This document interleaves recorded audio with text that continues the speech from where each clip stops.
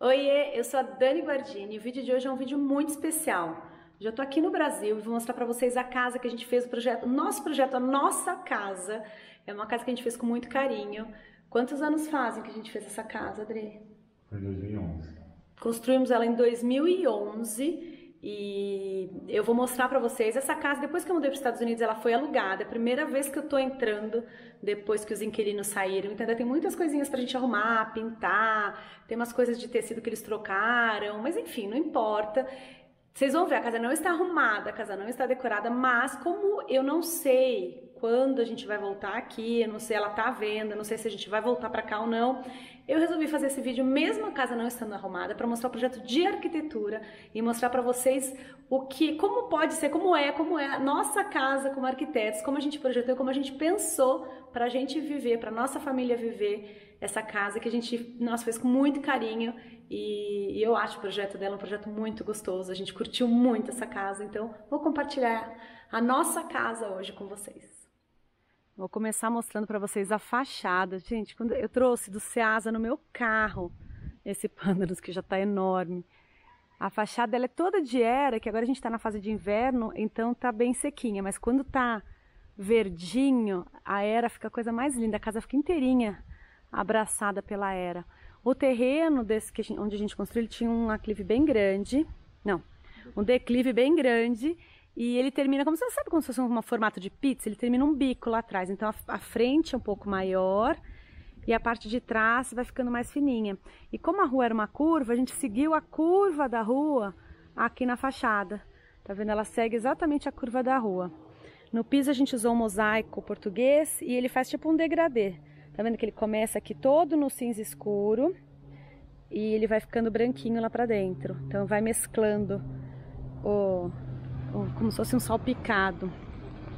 E a porta amarela, que a gente ama essa porta amarela.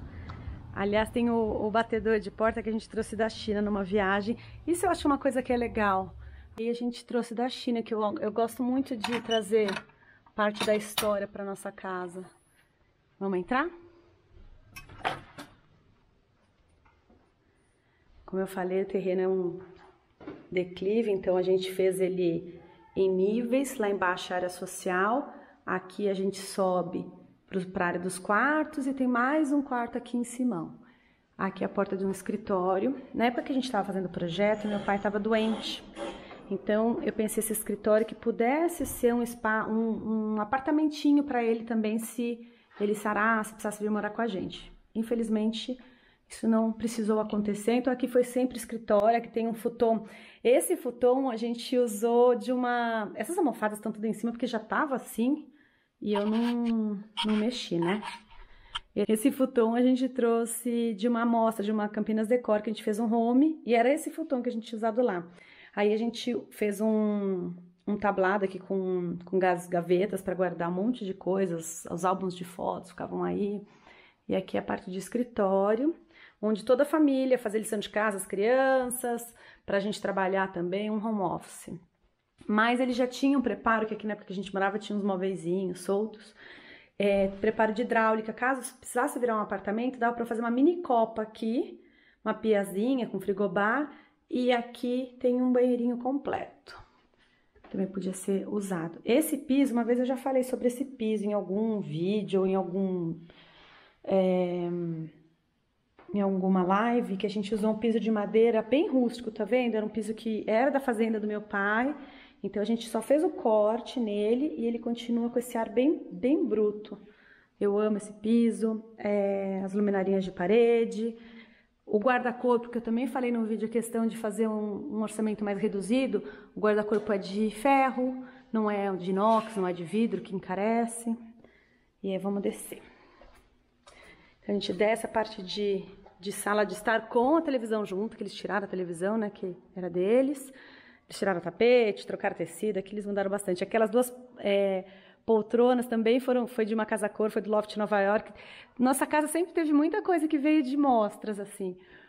Ah, aqui a gente deixou a mesa de ping-pong, as crianças, Adriano, sempre brincaram muito, sempre jogaram muito. Num primeiro momento, aqui era a parte de churrasqueira. E aí a casa terminava por ali e daí tinha um terreno, um, um barrancão lá para baixo, que era gramado, as crianças adoravam brincar, inclusive. E o terreno descia. Depois, depois de uns anos a gente já morando, a gente fez uma parte lá embaixo, tipo um salão que pode ser salão de academia, enfim, mil, dá para fazer mil coisas. E a gente fez a parte de churrasqueira, trouxe para lá, fez a piscina, tudo no mesmo nível e deixou aqui para a mesa de ping-pong. Aqui, mesa de jantar, a, estante ali, a, a churrasqueira, depois eu vou lá fora. Aqui a cozinha é super integrada com a sala. Como eu gosto de cozinhar, eu sempre gostei de fazer os jantares cozinhando junto com todo mundo, com as crianças. Então, estavam assistindo televisão, eu estava por perto. Então, a cozinha ficou bem integrada, ela era bem central. Parte de lavanderia, que eu já falei que se eu voltar para cá, preciso trazer a máquina de secar dos Estados Unidos, porque aquilo é tudo de bom. Então, lavanderia, aqui era de serviço. É, a gente fez coberto com vidro ali em cima. Ah, tá do jeito que tava, gente. Eu não arrumei nada pra mostrar pra vocês, tá? Então, a cozinha aqui. Olha o visual pra quem tá cozinhando, que delícia. Bom, né? Bem bom. Eu vou mostrar a churrasqueira, que eu adoro essa parte da churrasqueira aqui dessa casa. Ficou uma delícia. A piscina também é bem gostosa. A gente fez tipo raia pra... Nossa, dá pra brincar. Ali é um espazinho, parte de tomar sol. Aqui é raia pra nadar. E ali é a parte de piscininha e tem um, um pequeno desnível ali, então a gente deixava bem alto e lá embaixo foi feito uma captação de água, então a água podia transbordar lá para trás.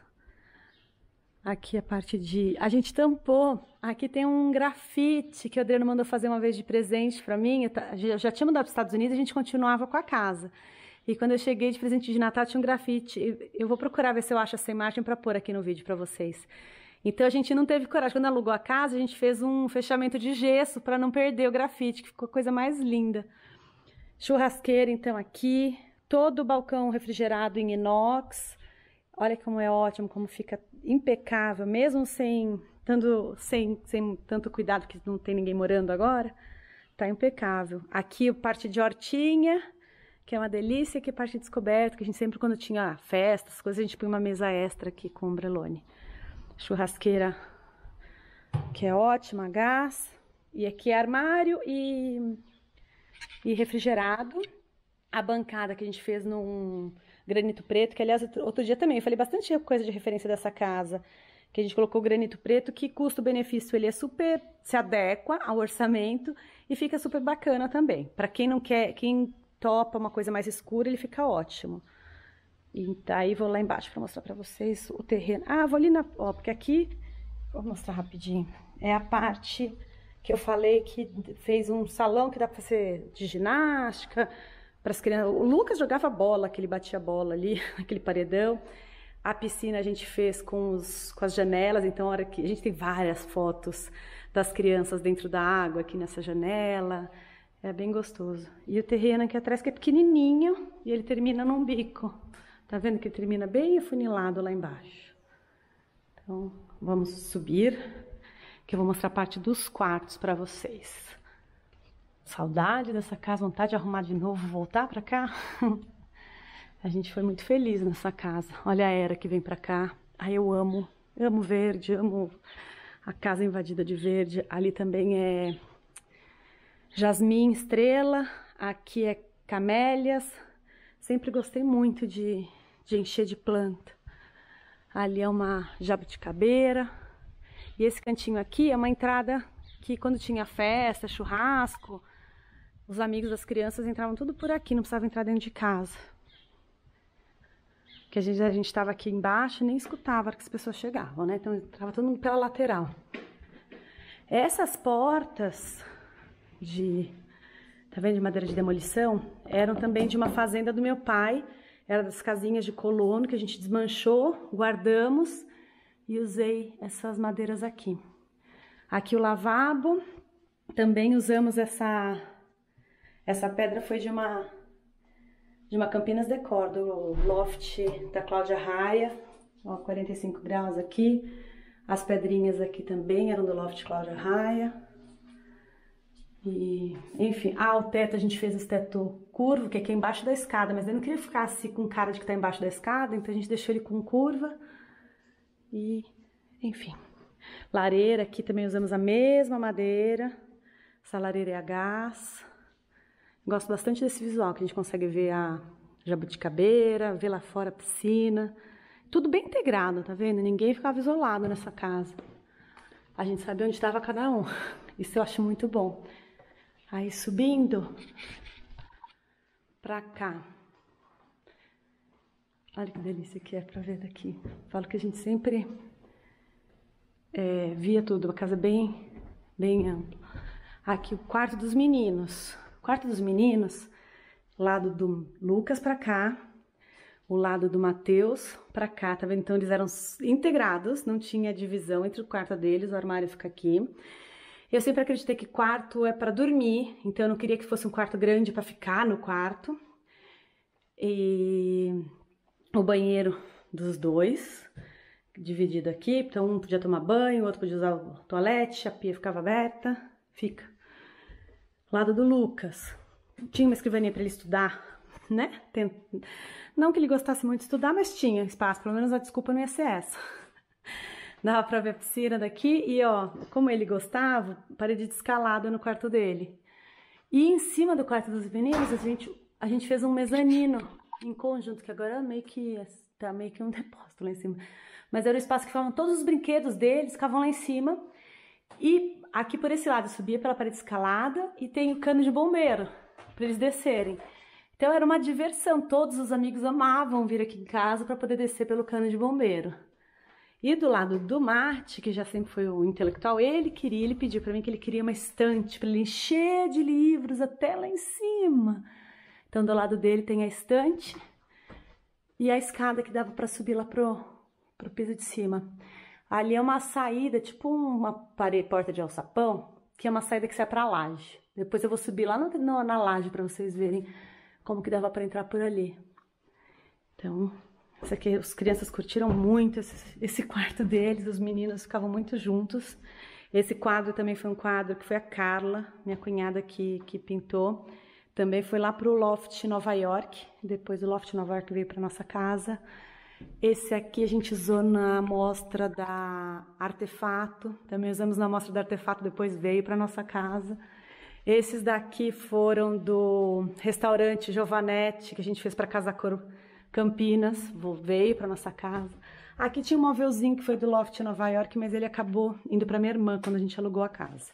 Aqui é nosso quarto com a cama. Esse aqui também. Tudo era de Loft Nova York. Não, Loft da celebridade da Cláudia Raia, era uma escrivaninha que tinha. E o visual adorava acordar aqui, a gente acordava com o sol nascendo lá na frente, muito bom.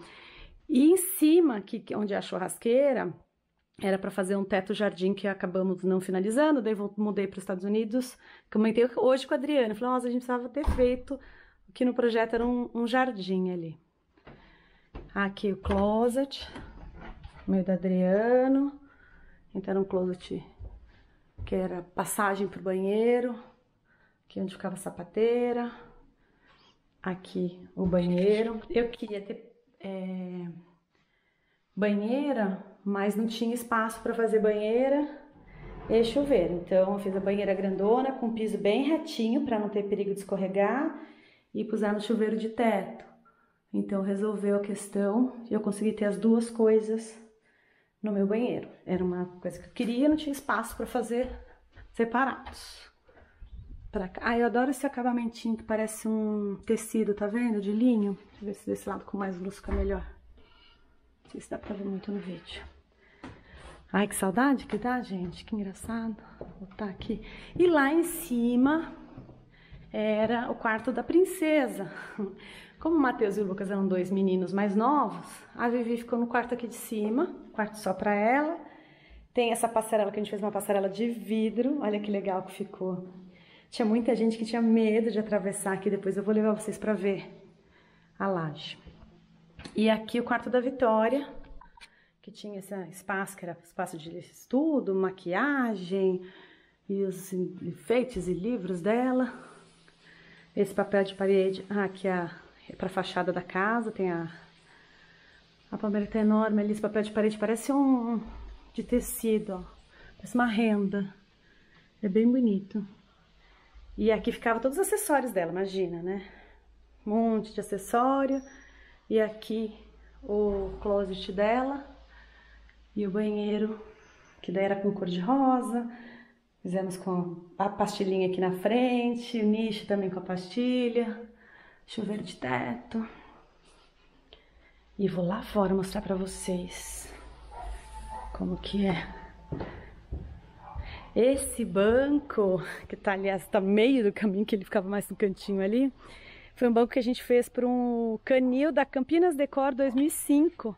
Primeira mostra que a gente fez de decoração. E olha só, eu desenhei, tá vendo o formato de, ele tá até enferrujado de ação.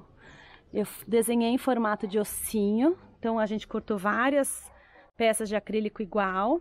Aí mandei fazer no serralheiro, mandei cromar.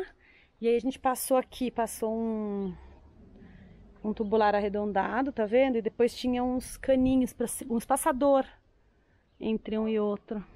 Ai, que judiação isso aqui fora. Essa é uma peça que eu acho que ficou muito linda. Era do canil da, da Decor.